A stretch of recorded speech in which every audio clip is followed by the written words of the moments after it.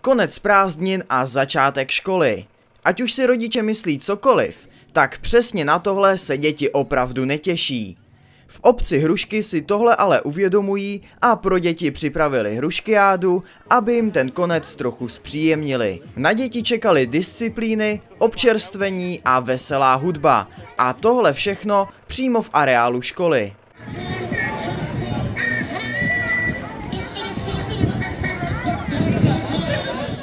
Celou hruškiádu měli na starosti drtichy, což je místní soubor. A koho jiného bychom se měli zeptat na akci, než právě členky drtich. Co byste mohla říct o dnešní akci?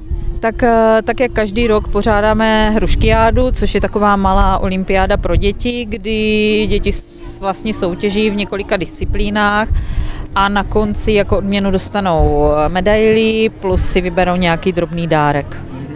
A jaké disciplíny tady máte? Uh, snažíme se každý rok ty disciplíny nějak obměňovat. Většinou je to jak poznávací disciplíny, tak nějaké trošku sportovní. Máme tam nějaký hod do plechovek, poznávání zvířat, malování na kamínky a tak. Disciplín bylo konkrétně 8 a pro děti byly jak náročné, tak velmi zábavné. Co děti mají na téhle disciplíně dělat? Takže na této disciplíně dě- děti navlékají korálky a dělají si z toho náramky vlastně. Dle vlastního výběru, které se jim vlastně líbí. A jde jim to? No, já si myslím, že úplně suprovně. Že se jim to strašně líbí, že? Že se ti to líbí. Takže ano, určitě ano. Děti na téhle se disciplíně chodí s, s vodou ve lžičce a musí projít tuhle tu překážkovou dráhu. A jde jim to? Jo.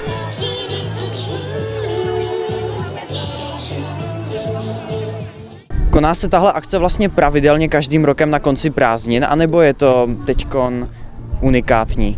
Eh, každý rok pořádáme hruškiádu pro děti, ale letos jsme to udělali na konci prázdnin poprvé. Eh, vždycky jsme se snažili zpestřit dětem prázdniny, loni nám to moc nevyšlo, protože bylo hrozné horko a moc dětí nepřišlo, tak jsme to letos směřovali na ten konec prázdnin a říkáme si, že snad to počasí vyjde, jo, tak je trochu líp jak loni.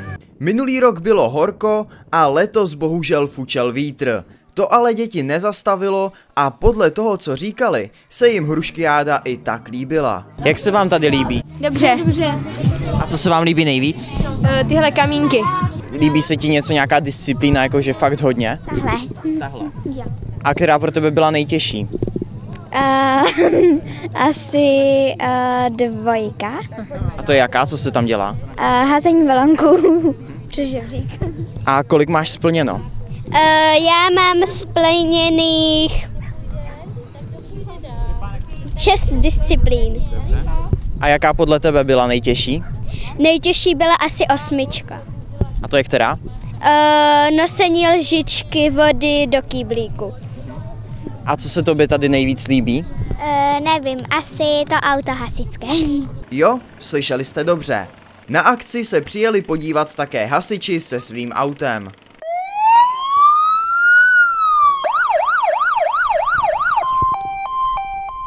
Jak se ti tady líbí? Hezky. A chtěl bys být hasič, až vyrosteš? Jo. A co se ti líbí nejvíc tady na téhle akci? Um, Asi auto, že? auto a hasit. Hasit, jo. Ano. Hruškiáda ale není všechno, co drtichy během roku chystají. Můžete se těšit na každoroční pálení čarodejnic nebo třeba vánoční veselení. To už není úplně pro děti, je to i pro dospělé, že si zaspíváme nějaké vánoční koledy, prodáváme nějaké rukodělné výrobky, ale je to i pro děti. Dospělí mají svou akci sice až o Vánocích, ale na Hruškiádu se jich také přišlo pár podívat. Zúčastnili se vaše děti? Ano, naše děti se zúčastnili. Zúčastnil se tady Štěpánek a Ondra. A líbilo se ti to? Jo. Dobře. A co si vymyslíte o téhle akci? Já si myslím, že to je hezká akce pro děti, která má, má svůj, určitě svůj smysl. Trošku to počasí, dneska by bylo teplejc, by bylo lepší, ale myslím si, že to je pěkný, že si to děti užívají. Je to spíše pro menší děti, ale myslím si, že i ty větší děti si za náma přijdou za soutěži tím, že to pořádáme každý rok, tak se na to těší. A přesně tak to bylo. Přišly jak větší děti, tak menší. No a dokonce i ty nejmenší. Ráďo, jak se ti tady líbilo? Co? Povykládej.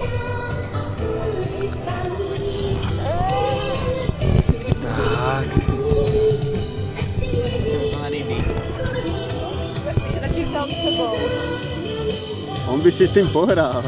On by dokázal. Že?